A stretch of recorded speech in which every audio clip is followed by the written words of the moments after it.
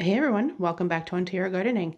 Today I'm going to show you how to make a quick and easy bird seed wreath for outside in this winter weather that we're having.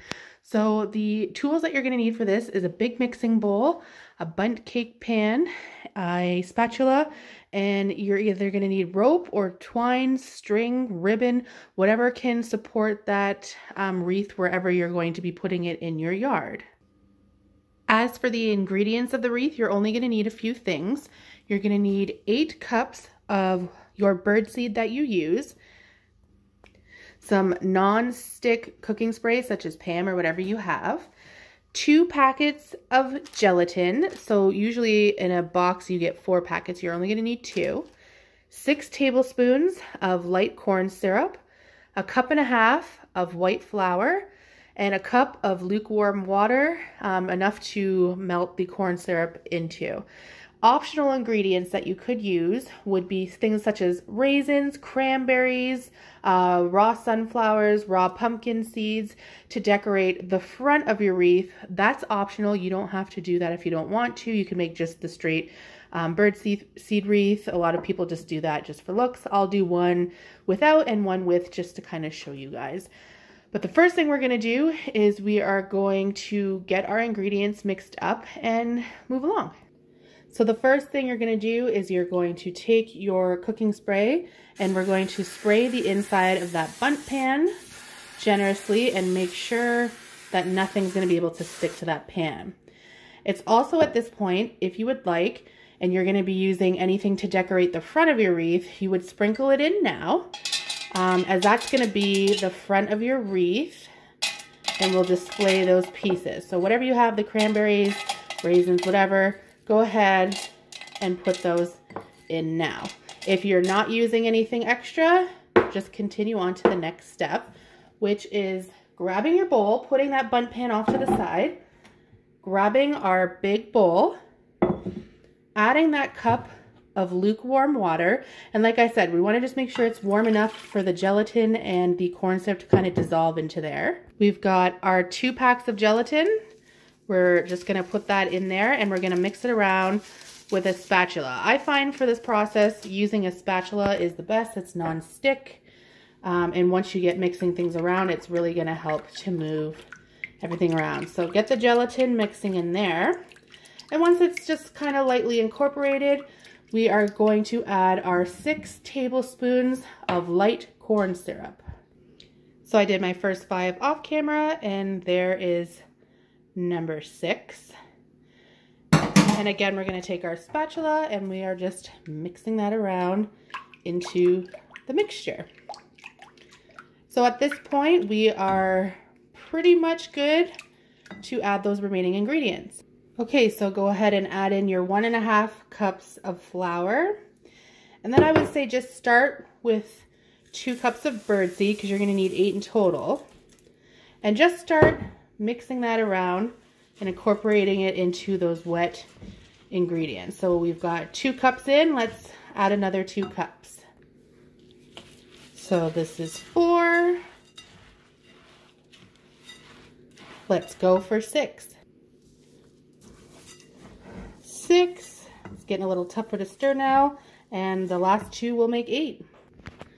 So we have stirred it really well. Make sure to scrape down the sides and right to the bottom because you're not wanting to see really any more of that flour. You're wanting to kind of mix it all together, making sure it's equal parts wet, nothing's, there's no dry pockets, everything's really mixed well. And it's going to be like a wet granola consistency. And you are good at that point.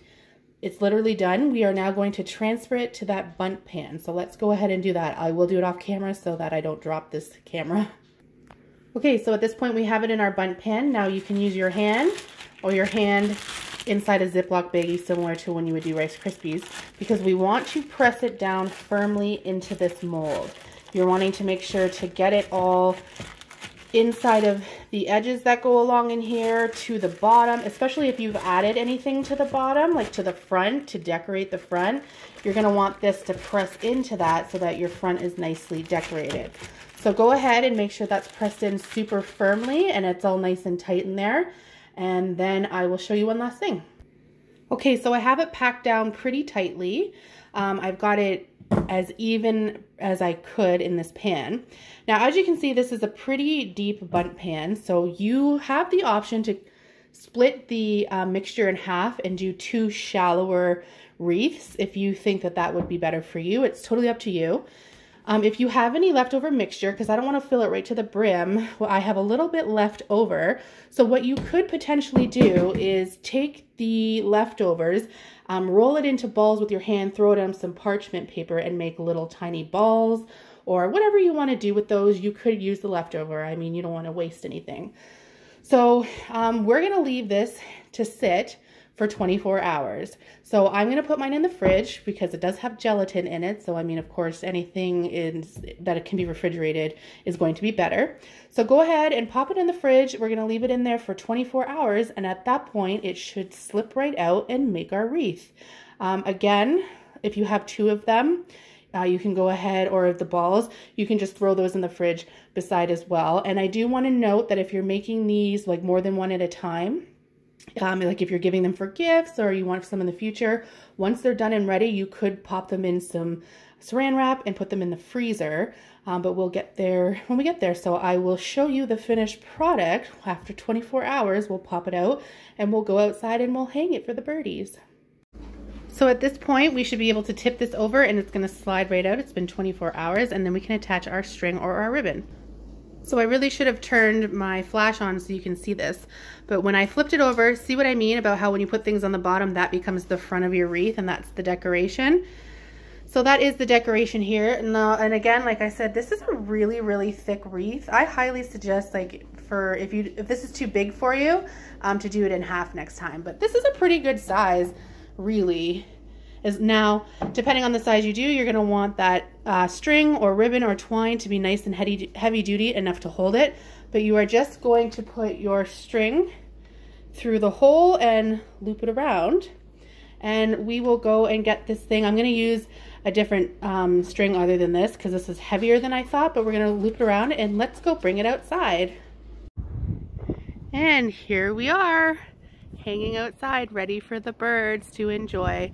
So it's really that easy to make a birdseed wreath. You just need a couple of things. We will talk to you soon when we make other stuff for our homestead. Bye.